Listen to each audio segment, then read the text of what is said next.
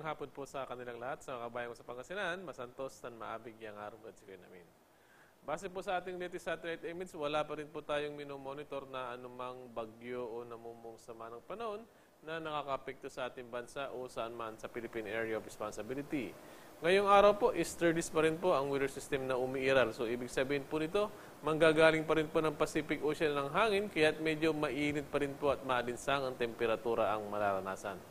At dahil po sa easterlies ngayong araw, dito po sa Luzon, ah, dito po sa may probinsya po ng Batanes at Babuyan Group of Island o yung tinatawag nating Extreme Northern Luzon, in 24 hours ay uh, maapektuhan na po ito ng northeast monsoon o amihan. So ibig sabihin po niyan ay ah, magbabalik po itong amihan. Subalit malaking bahagi po ng Luzon, ngayong araw, ang Metro Manila po at ang nalalabing bahagi ng Luzon ay magkakaroon pa rin po ng bahagyang maulap hanggang sa maulap at apektado pa rin po ito ng easterlies. Kahit asahan po natin, mainit at malinsangan po ang temperatura at dahilan po dyan, maaari pong magkaroon ng mga localized thunderstorms. Kung ito po yung makita ng ating Doppler radar, isa o dalawang oras bago po ito mangyari, magbibigay po tayo ng thunderstorm advisory. Isang paalala lamang po, kung yung lugar po natin ay matapatan ng thunderstorm, malakas na ulan na may pagbugso ng hangin ang maaring maranasan. Samantala, forecast temperature po dito sa Luzon, sa may Tugigaraw City, nasa pagitan po ng 24 to 34 degrees Celsius. Dito naman po sa Lawag City, 23 to 32 degrees Celsius. Pinakamababa pa rin po sa Baguio, 16 to 27 degrees Celsius. Metro Manila, 24 to 35 degrees Celsius. Dito naman po sa Tagaytay, 21 to 30 degrees Celsius. Samantalang sa Legazpi, 26 to 32 degrees Celsius. Samantala dito naman po sa Visayas at Mindanao, sa may Visayas po, ang Central Visayas kasama po ang probinsya ng Leyte ay magkakaroon po ng maulap na kalangitan na may kalat-kalat na pagulan at pagkidlat pagkulog. Nalalabing bahagi ng Visayas kasama po ang Palawan ay magkakaroon lamang po ng bahagyang maulap hanggang sa maulap. Ibig sabihin po niyan, maganda pa rin po ang, ang panahon at kung may mga pagulan man, ito po ay dulot ng mga localized thunderstorms. Forecast temperature po dito sa Visayas at Palawan. Sa may Palawan po, 26 to 33 degrees Celsius. Samantalang sa Iloilo City, ganoon din po, 26 to 33 degrees Celsius. Dito naman po sa Metro Cebu, 25 to 31 degrees Celsius. At sa may Tacloban, 25 to 31 degrees Celsius. Samantala dito naman po sa Mindanao, ang, ang region po ng Caraga kasama po ang Northern Mindanao, Ganon din po sa probinsya ng Davao Oriental ay makakaranas po ng maulap na kalangitan at maaring magkaroon ng mga kalat-kalat na pagulan at pagkidlat pagkulog.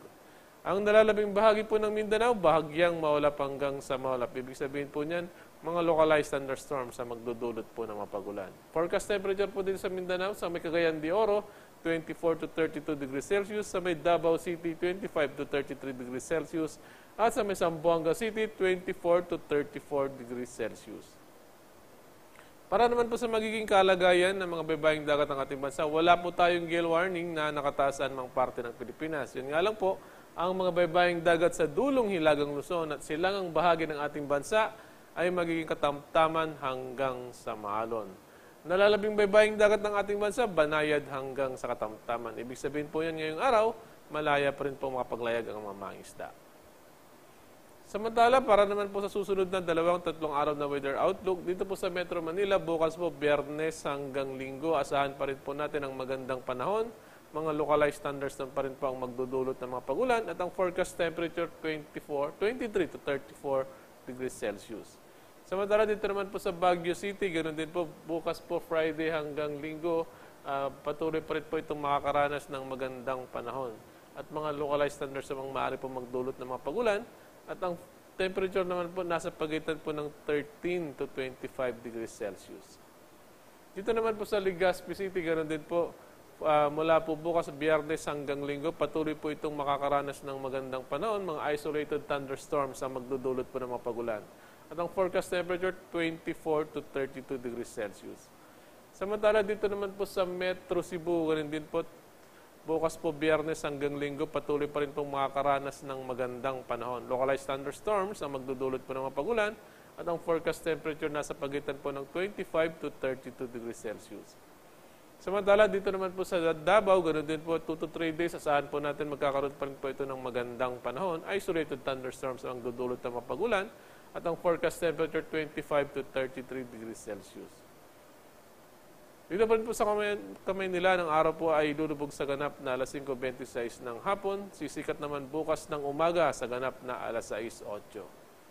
Para sa karagdagang impormasyon ukol sa lagay ng panahon, i-follow lang po at i-like ang ating Facebook at Twitter, DOST underscore Pagasa. Hanapin lamang po ang ating YouTube channel, DOST Das Pagasa the report at ang ating official website, bagongpagasa.dost.gov.ph. At yan po ang litis ukol sa lagay ng panahon mula po rito sa Forecasting Center ng Pagasa, Department of Science and Technology. Ang inyong lingkod, Henry Kitlong. Magandang hapon.